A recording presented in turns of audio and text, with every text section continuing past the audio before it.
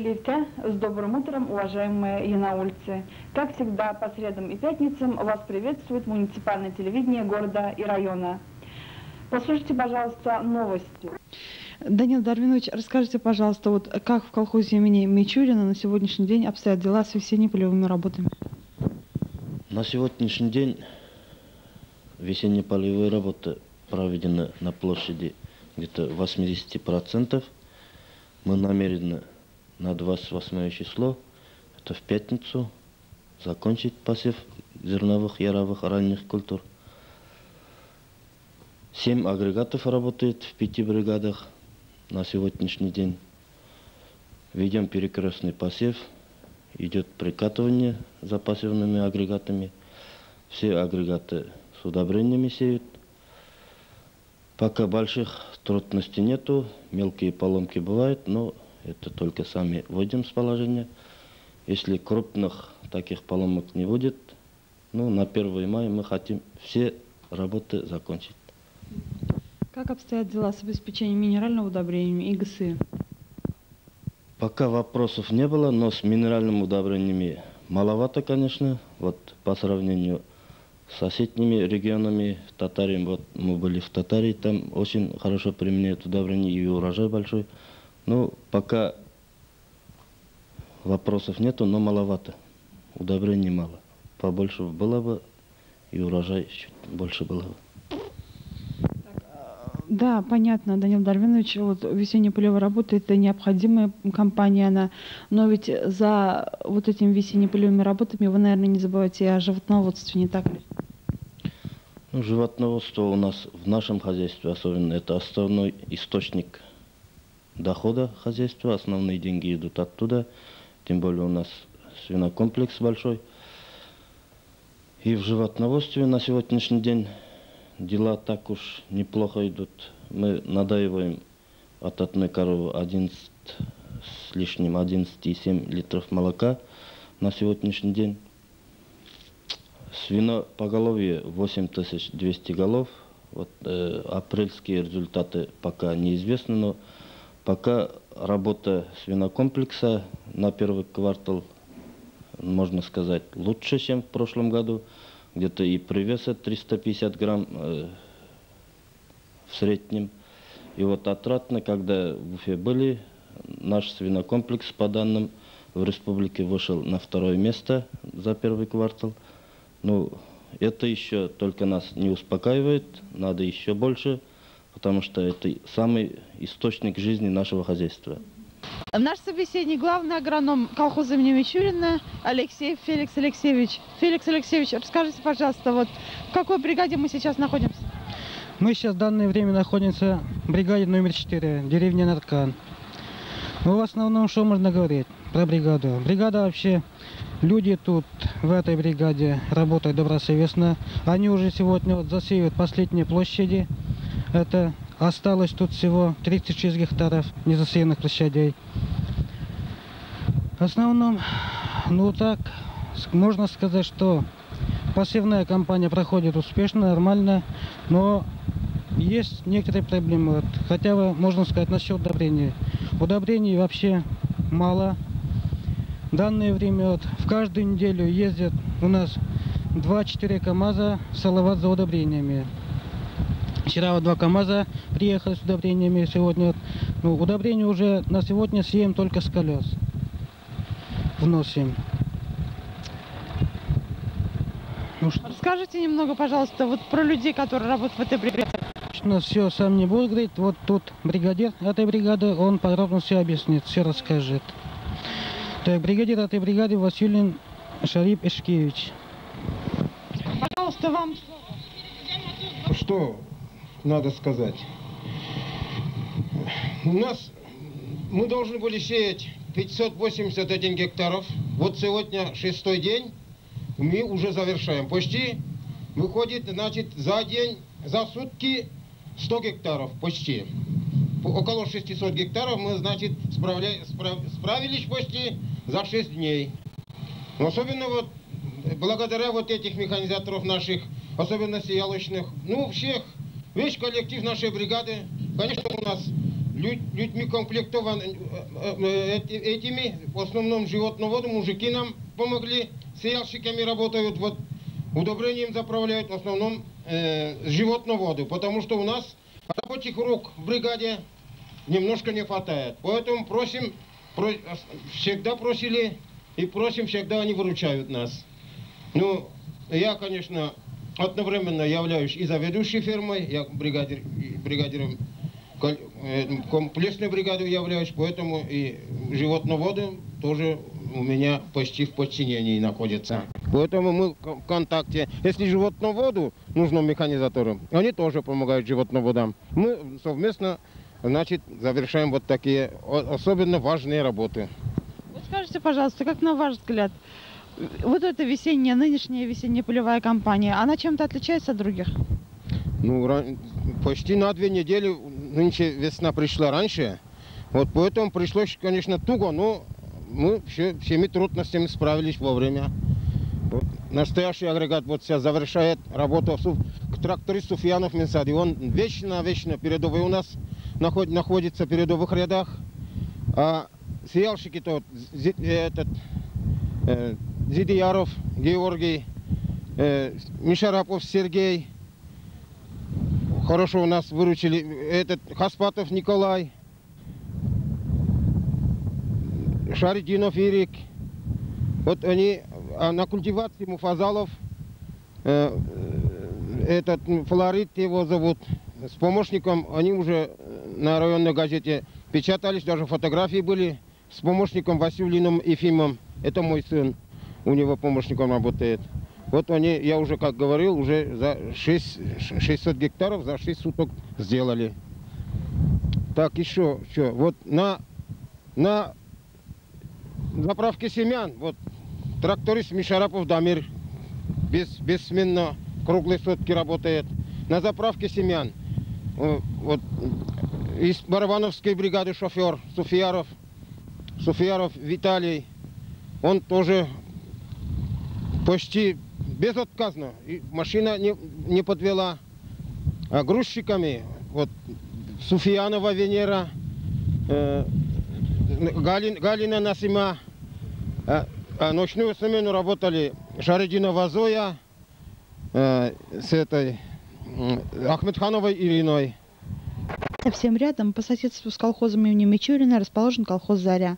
По сводкам управления сельского хозяйства и продовольствия, этот колхоз, хотя его, его руководитель тоже недавно руководит им, также в числе передовых. Впрочем, об этом и о ходе весенне-полевых работ мы попросили сказать председателя колхоза Багаова Ильсура Фанавиевича.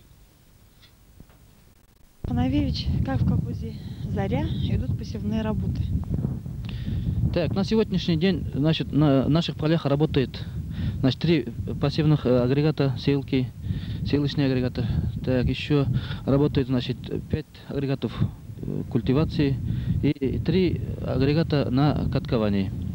Так, на сегодняшнее утро значит, посеяно э, зерновых, ранних зерновых на площади около тысячи гектаров, что составляет 41%.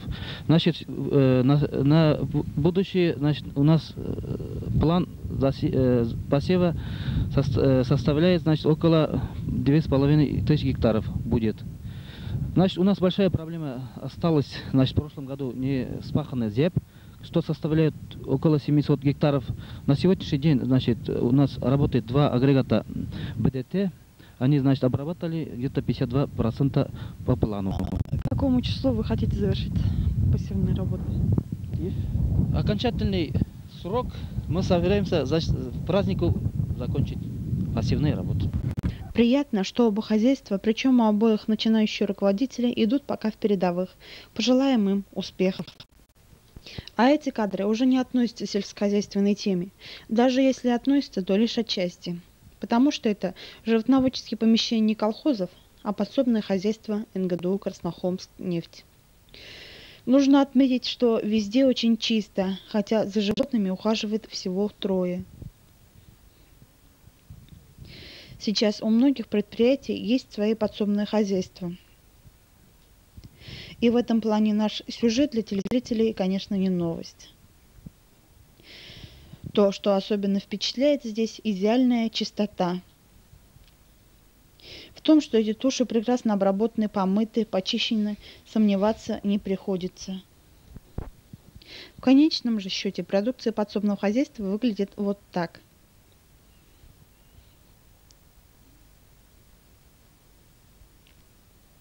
Наш собеседник, начальник подсобного хозяйства НГДУ «Краснохолмскнефть» Ахмедшин Флюр Талгатович.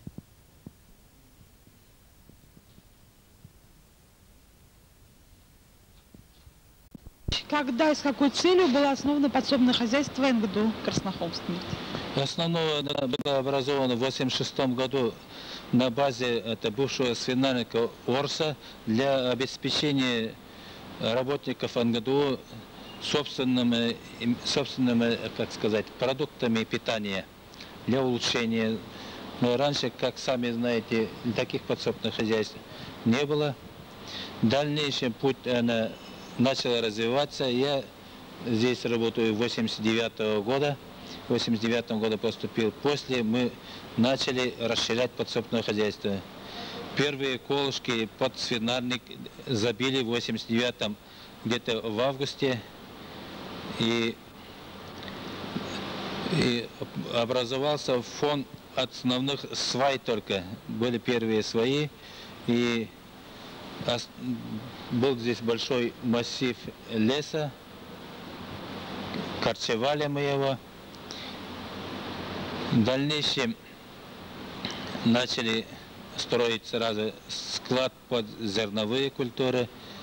В следующем, 92 году начали строить овощехранилище, к осени достроили. Вот в прошлом году, в августе, первые колышки забили под этот убойный цех. Была уже тогда заключен э, договор с итальянской фирмой Техносервис. Были закуплены оборудование. Вот с этого момента к 28 декабря пустили этот убойный цех и колбасный цех. 29 утра уже дегустировали первую колбасу. Этот самый впечатляющий момент остался на памяти. Даже самому не верится, как это делается.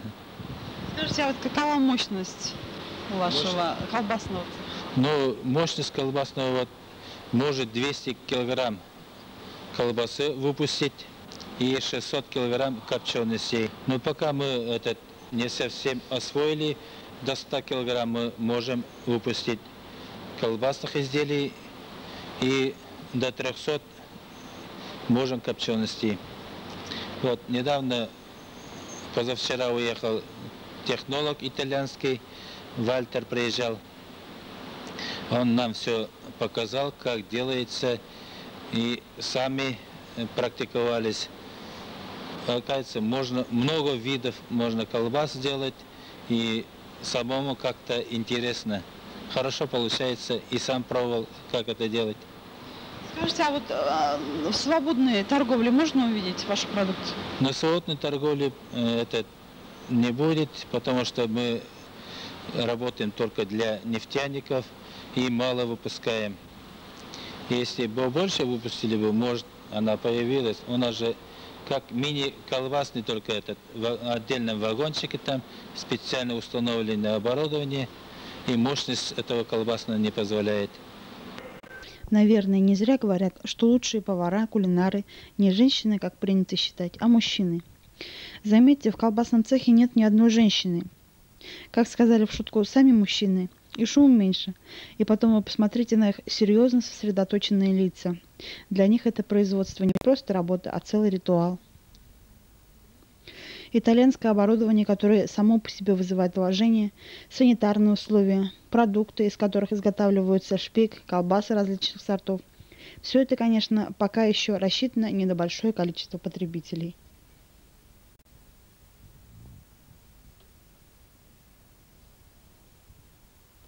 Человек у вас здесь работает? Здесь в войном цехе работает 6 человек. Всего? В собственном хозяйстве? В подсобном всего работает 23 человека со мной. Скажите, а вот что у вас в перспективе? Что вы предполагаете, о чем вы мечтаете? Э, Мечтаем это дополнительно, вот у нас ведется этот, завершается строительство свинарника от кормочника.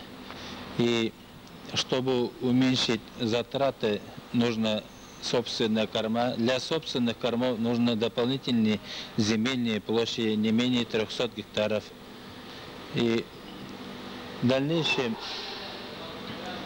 все благоустроить, построить мехмастерскую для ремонта сельхозмашин. Раз земля есть, так сельхозмашина есть. Сельхозмашина есть, так его где-то ремонтировать надо. Создать благоприятные условия для ремонта. Хозяйство ваше рентабельно? Но пока оно не рентабельно, конечно, оборудование все дорогое, но со временем, я думаю, окупимся, э, свои корма будет, и качество продукции будем этот, улучшать, выпуск качества продукции, и цена, наверное, соответственно, увеличится. Значит, подсобное хозяйство в этом году будет жить? Будь- конечно, будет жить. Куда да? Это обязательно расширять надо, чтобы и работникам НГДУ даже приятно, вот они сюда приезжают и сразу удивляются, это какое красивое оборудование, все, вот, даже вот вид продукции, один вид только продукции какой. Отлично, это качество и, и вид хороший, и основной костяк рабочих вот более-менее уже налаживаем, уже вот налаживаемся, работаем. Ну что ж, успехов вам. Спасибо. В перспективе у подсобного хозяйства НГДУ много планов, которые нужно воплотить в реальность. В свободной торговле пока нет их продукции, все производство нацелено на прямых потребителей нефтяников. Не приходится сомневаться и во вкусовых качествах продукции. Производители не жалеют ни приправ, ни пряностей для того, чтобы колбасы были отменными. Убедились в этом и сами нефтяники. Так что успехов работникам подсобного хозяйства в их дальнейшей работе, расширение их производства.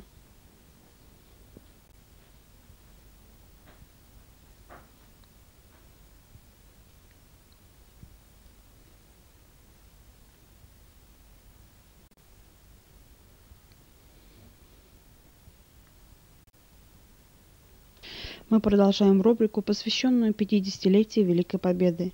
Сегодня наш герой – участник войны Шакир Муланур Шакирович. Правый менен сиз согушка неченчи жылына кеткениңиз качан нече керек ушул халларны азыраак эске түшүрүп алыңыз али Мыңга тоғыз жүзде отыз тоғызыншы жылына вот сентябрьнің он тоғызында шушы истекте бізді жибәрделәр колхозда эшләйдер идем шофер булып колхоздың колхозның машинасы белән киттем сез ул вакытта колхозда эшләп йөридегез бит инде менә колхозда машина белән эшләйдер идем шофер булып шуннан соң менә нинди фронтка эләктегез сөйләп китегез әле пожалуйста шуннан без барып бушатылдык старый руссаға вот шуннан старый руссадан 39 тоғызынчы елның октябрендә Fin qravinsiyasına yibərdilər Finlandiyaya. Ama Finlandiyada buldum 40-cı yılının Çelerinden eğiteyim indi bu kuzga kadar boyunca pişti oldum indi. Kınabilen işledim. Sanitarını maşına verdiler anla vargaçtan mı? Biz bununla margan aldılar maşinanın. Sanchas'ta işledim anda. Varanin işler taşıp. мулла нурабый мына сиз э, бүйүк ватан сугушунун башлануун нечек нечегирээк билдиңиз мына эмне обстановкада? Азыраак эсиңизге түшүрүп кете алмасызбы мен койткан ийим койткан ушундай аз гана да жүрдүк да уже бул сугуш башлангачтан жаңадан алдылар. Все ленинградтан башлап эстония латвия литва и Кинизбереккә кадәр бардык. Кинизберектә булдык. Сугыш беткәчтән. Сугыш беткәчтән Кинизберектән bir oy yarım үткәч микән, яңадан безне җибәрделәр уже Япония ягына. 39-нчы армия белән идек без. Также шул батальон идек, без автобатальон хисапланадыр инде. Нинеке 39-нчы армияның шул целый батальон и целый армия, отыз тоғызыншы армия, кеттік уже барып түштік Қытайға, Порт Артурға. Вот, анда тағы жылдан ортығырақ болдым. Бұлай болып шыға бетен, сіз бүйік вадан соғышынан үйге қайтмадыңыз торы соғышқа кеттіңіз, екінші соғышқа. Жоқ, мына озып кеттік, поезд білем. Шолай. Үшінші соғышқа ана шонда кеттім енді бұша Шулай, ә менә Мулла Нур абый ул Бүйүк Ватан сугышының иң истә калган сезгә моменты нинди булды? Искә төшерә аласызмы? Иң кыен чагыдыр, может. Иске қалған шағы инде ана шул Кинзбергны алу. Вот, Эстония, Латвия, Литваны алғаштан уже Кинзберг алынды.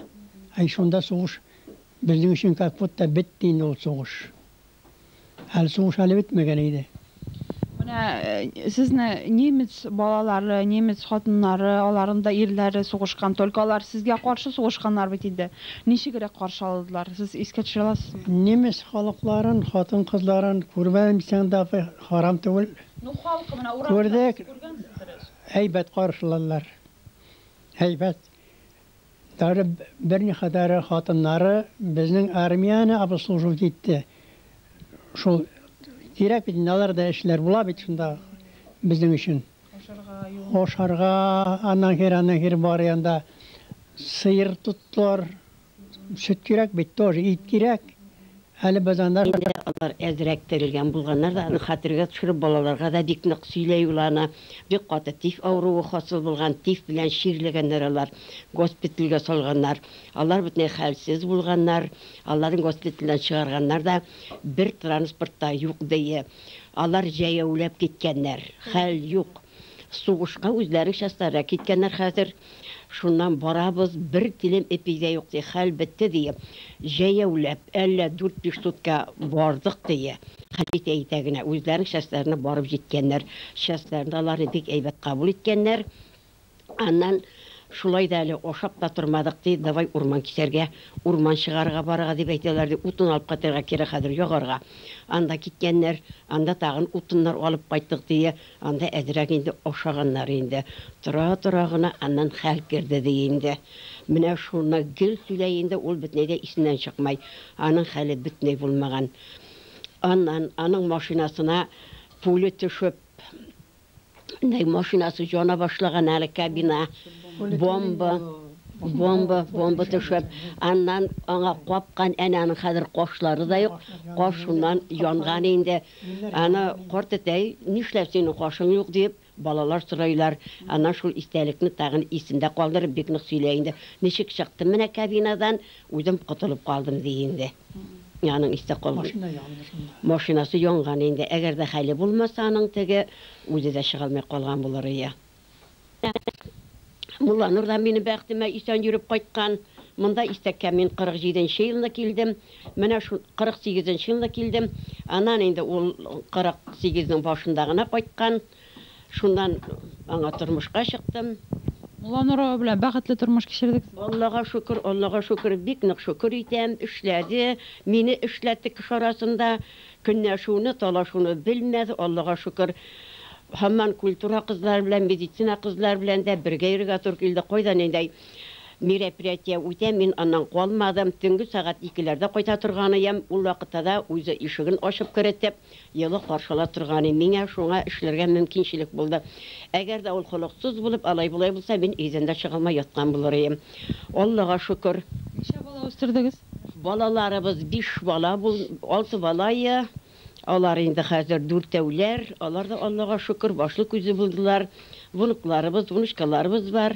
Алар да киләләр кунакка. Карт әтәйендә нәй дип инде алар тагын ел каршалып узатабыз инде. Ну хәзер сәламәтлекләребез какшап бара инде. Әле Аллага шөкер. Аллага шөкер, бар да бар. Куанып яшәйбез, илебез тыныч булсын менә. Өебездә суыбыз бар. Менә хәзер газ үтте, Аллага шөкер. Алдагы көннәрдә утын бер-ике дип ендигәсе булмас, илебез тыныч булсын, күкләребез аяз булсын. Эш башындагы халыкларыбызга тауфик беріп исән эшләсеннәр. Без илнең көннең тынычлыгын, балаларның исәнлеген, үзебезгә жан тынычлыгы, тән тазалыгы теләп ятабыз инде хәзер. Аллага шөкер. Истәк авыл советыннан гына да 270 кеше һәлак булды. Күпләр алган яралардан үлде. Алар, җиңүчеләр, бүгін міне ұшының ішінде уақиғаларының ортасында болырға өзләріне ең жауаплы һәм ауырырақ іш оларға тырышады бүгін ветерандарның көкірегін харби һәм тыныш хезмәт бүләкләре безей. Оларның соғыштан соңғы тормышлары бертүрлі нендегіне іш башқарсалар да яхшырақ сыйфатлырақ эшләргә тырыштылар киләчәк өчен яшәделәр. Әгәр бүген без колхоз производствосында гына түгел, халык хуҗалыгының башка тармакларында да яуланганнар турында сөйлибез икән, биредә өлкән буыннарның Мулланур Шакирович Шакировның да ару талусыз эшләүе нигезендә итешүебез турында истә тоторга тиешбез. отдыхать в своем коллективе. На днях в Доме техники нефтяников нашего города для своих земляков выступил танцевальный коллектив «Зифа».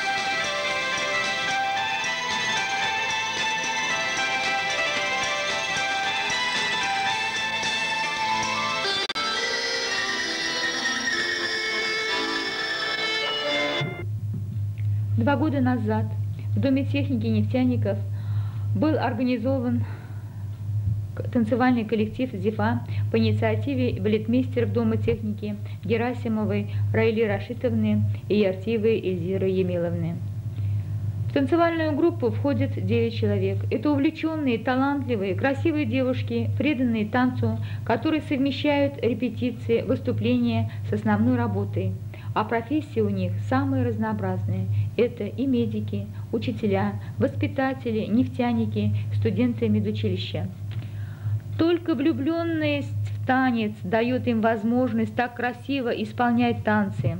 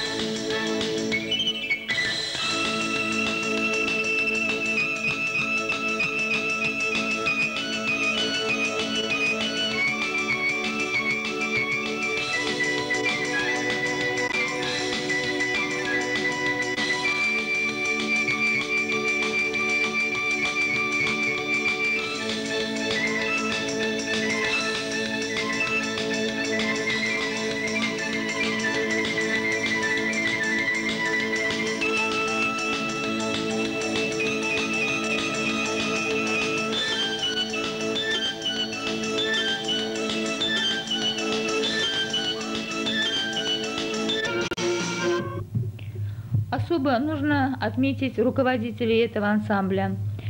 Герасимова Рейля Рашитовна уже 20 лет радует танцами янаульцев, из них 8 лет она в коллективе Дома техники нефтяников. Пользуется огромной любовью и уважением в коллективе и у зрителей.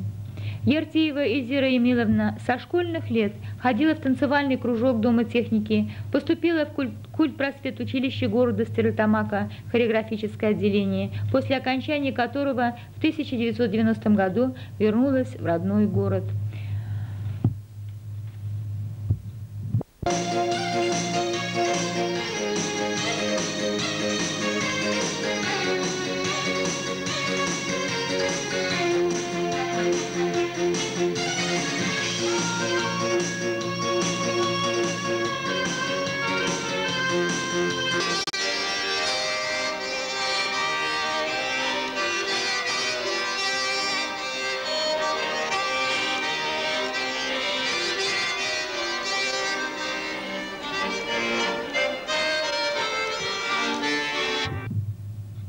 Танце сливаются музыка и пластический образ. Танец – это ожившая скульптура, как бы сошедшая с пьедестала. Своими танцами завоевали девушки сердца зрителей своей мягкостью, изяществом и женственностью.